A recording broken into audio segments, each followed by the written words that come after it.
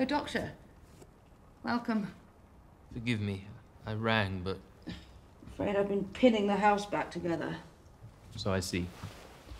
My darling brother's still in Lidcote, arguing with the builder about the land sale. I do hope they're not drinking to seal the deal.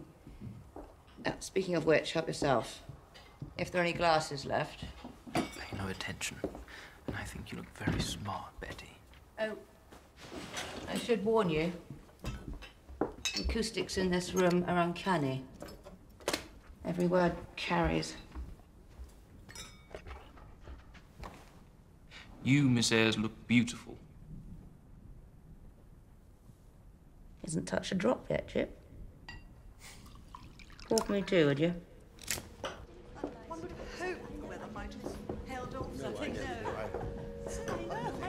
Mr. and Mrs. Rossiter and Miss Dabney, my dear.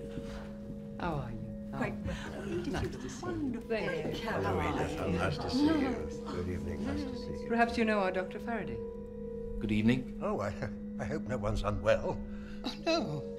The doctor is a guest. Ah, one of us.